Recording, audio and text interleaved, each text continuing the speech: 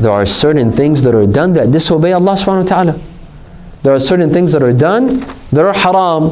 What are these things? We will try to summarize them in several points. وصلى على محمد وآل محمد. اللهم صل على محمد وآل محمد Number one, music. You will rarely enter a, a wedding that does not have music. Rarely. You go into a wedding and music is not being played. Only a handful of youth that choose not to have music part of their weddings and they play something else, anashid or uh, religious songs. Not so much music, but but the vast majority from various cultures, whatever culture you go to, many of them they have music in their weddings. Some go far as to have to bring a DJ in their wedding. Have a DJ play music in their wedding. Some of them are willing to spend a lot of money on music at their wedding. My dear friends, music is haram. Whether it's at a wedding or at a funeral, music is haram. Whether it's at work or at the gym or in your car or on your phone, music is music and music is haram. And there are no exceptions. There's no exceptions. Weddings are not exceptions to uh, the per- permissibility of, of music. There are some people who think that music is haram unless it's at a wedding. If it's at a wedding, it's okay. Raise the volume. It's fine. Who told you? Who told you weddings are exceptions? Weddings are not exceptions. Music is haram wherever you go.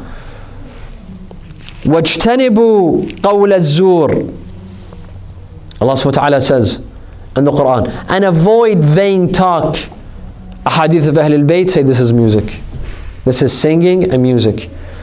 وَالَّذِينَ هُمْ عَنِ اللَّغْوِ مُعْرِضُونَ In Surah Al-Mu'minun, among the qualities of the mu'mineen, the believers, وَالَّذِينَ هُمْ عَنِ اللَّغْوِ مُعْرِضُونَ Those who avoid vain talk, vain speech. Narrators of Ahlul Bayt say this is music. This is singing. Let me ask a question. At your wedding, you're starting a new life with a new person. Do you want shayateen to be present or do you want angels? Ask yourself this question. Who do you want present? Do you want shayateen? Have all the music that you want. And you'll have a lot of shayateen. You'll have shaitan and his army dancing at your wedding. But do, is that what you want? Or do you want angels at your wedding? Do you want angels to be present and have your marriage, your wedding, to be blessed? Which one do you want? You choose. Is this how you thank Allah subhanahu wa ta'ala for, find you, for finding you someone that's suitable for you, that's compatible with you, someone who will complete your life, someone who will share the rest of your life with you. Is this how you thank Allah? By beginning your marriage, your wedding day with music? This is how you thank Allah? Yes, on, on the other hand, there are some people, you know, may Allah bless them. There's no music at their wedding. Instead, they, they begin their weddings with Quranic recitation, with Hadith al Kisa, with religious uh, poetry and anashid, perhaps with a lecture. I've I've been invited to some weddings to give a lecture. Some of you are thinking, are, you know, what a boring wedding. To have the Sayyid speak at that uh, wedding. Well, some they choose to have that. They like to listen maybe to a word of advice on marriage, on how a husband should treat his wife, on how a, a, how a wife should treat her husband. Some choose that. They want their wedding to be an Islamic wedding. You know, I tell some people this. When I speak about this, about music at weddings, some people say, but Sayyid, you know, if I don't have music at my wedding, my wedding is going to be boring. Who's going to come to my wedding if there's no music?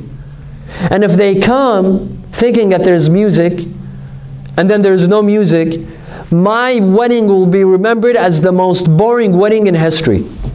And I don't want that. I want people to enjoy my wedding, to have a good time at my wedding. I want to have, you know, good memories. The answer, number one, you don't necessarily need to have music. Play religious songs. Play religious anashid. Play poetry and songs of Ahlul Bayt, of the remembrance of Imam Ali alayhi salam. Dhikr Ali and ibadah. The remembrance of Ali ibn Abi Talib is a form of worship. Have that instead. That's an alternative that you could have at your wedding. Let's start this trend. If one person does it, two, three, four, becomes a trend in the community. And we can end, we can put a stop to music at our weddings. This is one. Two, two, so what? Would you rather have a wedding that's boring or would you, or would you rather have a wedding that disobeys Allah subhanahu wa ta'ala? You're disobeying Allah in that wedding. You're beginning your life with this life partner of yours by disobeying Allah from the first day, from the first start.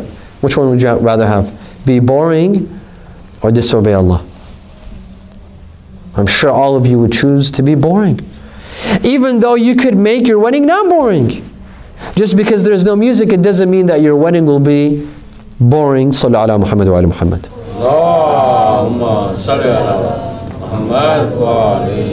Now let's go a step further. There are some that not just have music, but there's also what? There's dancing at their weddings. There's dancing. Now let, and I'm talking about, and I'm not, I'm talking about weddings that are not mixed. Men are by themselves, women are by, the, women are by themselves. Well, obviously, men would not be dancing by themselves. That doesn't happen. But women, in some cultures, in some countries, Islamic countries, women get up and dance. According to a lot of scholars and maraja, this is not allowed. This is not allowed. Some people think that as long as it's an all-woman wedding or it's, it's uh, separated, it's segregated, women could play music and they could dance. Who told you? Who told? Who said this? Which marja said this? This is not allowed. Even if it's a se- segregated wedding. This is not allowed. Music is not allowed, and dancing is not allowed, according to a lot of scholars. Yes, maybe you might find one or two that say it's allowed, but according to most scholars, this is not allowed. This is, we're talking about segregated weddings, let alone mixed weddings. Let alone mixed weddings. Men and women are together, there's music being played, there's a DJ, and there's a dance floor. And before you know it, they're, they're Muslims at this wedding and they're dancing. They're dancing. What sort of wedding is this? Have we forgotten all of our principles? Have we forgotten about, about our religion and our faith? What sort of marriage do we want to begin? This is a place for shaitan. You're inviting shaitan, you're telling him, Welcome to my wedding, come and do whatever you'd like. This is your playground. Come and do as you please. Is that what you want? I know in some communities, inshallah, this doesn't exist in this community. But there's some people listening to me online.